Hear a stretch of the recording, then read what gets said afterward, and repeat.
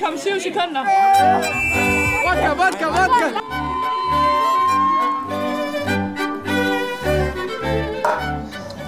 I Danmark kan vi godt lide at drikke. Der er nok ikke nogen, der ikke ved, at det er både usundt og også farligt for kroppen at drikke for meget. Så politikerne, de vil rigtig gerne have, at vi drikker noget mindre. Er det ikke rigtigt derovre? Jo, absolut.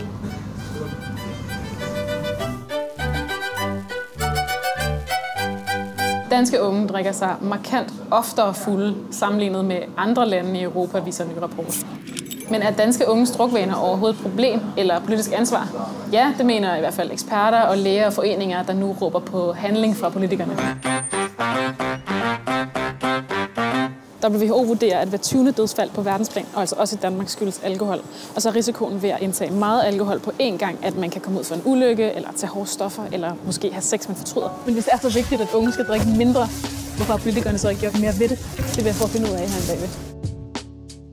Det vi ønsker, det er, at børn og unge de ikke skal lokkes til at drikke i en tidlig alder. Vi ønsker at begrænse øh, de unges øh, alkoholforbrug. Flere gange har Folketinget lavet tiltag for at få os til at drikke mindre. Primært taler vi om at hæve afgifterne, så alkohol bliver dyrere, men også aldersgrænsen for, hvornår man må købe øl, vin og spiritus under 16,5 procent er blevet ændret fra 15 til 16 år i 2004. Hvor mange har du afkrævet se ID-kort på i dag?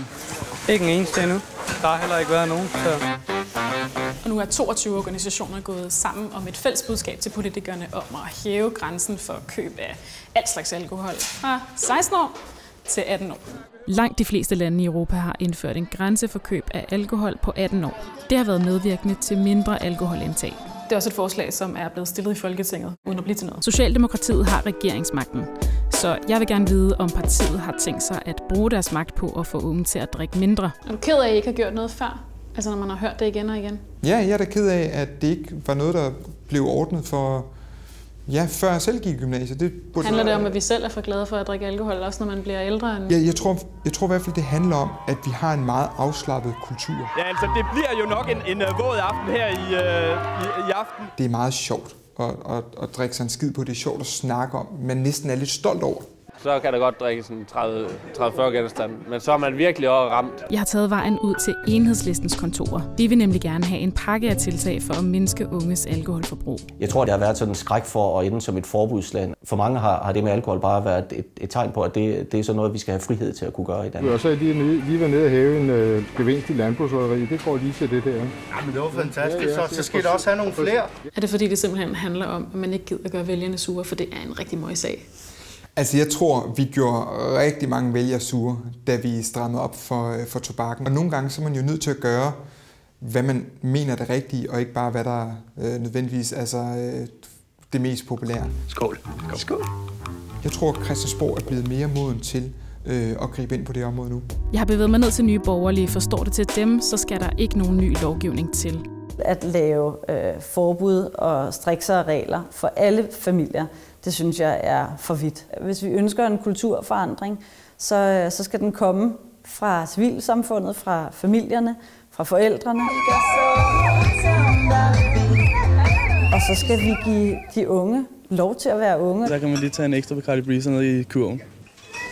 Jeg tror, det kunne være en god idé, det med at hæve aldersgrænsen øh, til, til 18 år. For det kan vi se også rent internationalt, at det er det, der har den allerstørste effekt. Det er jo ikke et, et forbud mod, at, at unge under 18 kan drikke. Det er bare et forbud mod, at detaljhandlen ikke kan sælge det til dem. Så vil jeg købe alligevel. Det vil ikke stoppe mig. Kommer ikke bare til at kriminalisere en masse unge mennesker, som stille og roligt gerne vil drikke øl, som er 16 år? Det bliver ikke forbudt at drikke alkohol som under 18-årige. Det betyder bare, at detaljhandlen ikke må sælge øh, alkohol til under 18-årige. Når, når vi kommer herfra, så har vi sådan en masse vi er først lige begyndt. Kan du forstå, hvis man ikke synes, at det er specielt fedt, og heller ikke noget, som, øh, som staten skal regulere?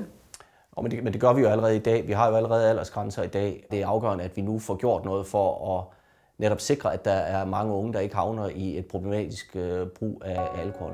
Nu er politikerne modne, siger regeringspartiet, men hvordan vil de så løse problemet? Det at begynde at bruge nogle lidt mere hårde værktøjer øh, mod dem, som øh, systematisk tjener penge på at sælge øl og alkohol ulovligt til børn. Og øge kontrollen jeg tror, det er det, der er det mest afgørende. Har du afkrævet at se ID på nogle af Ikke dine kunder i dag?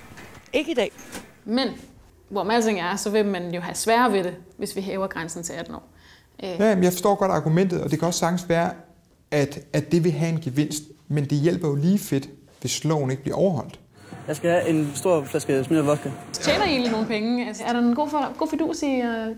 Jeg tror ikke, jeg, jeg har ikke set nogen beregninger, men jeg nægter simpelthen at tro på, at, der er, at det er en økonomisk fidus for staten, at der er børn og unge, der drikker sig stive. Altså øh, med alle de følger, der har. Det er, ikke, det er ikke nogen fed fidus for nogen af os. Hverken økonomisk eller rent menneskeligt.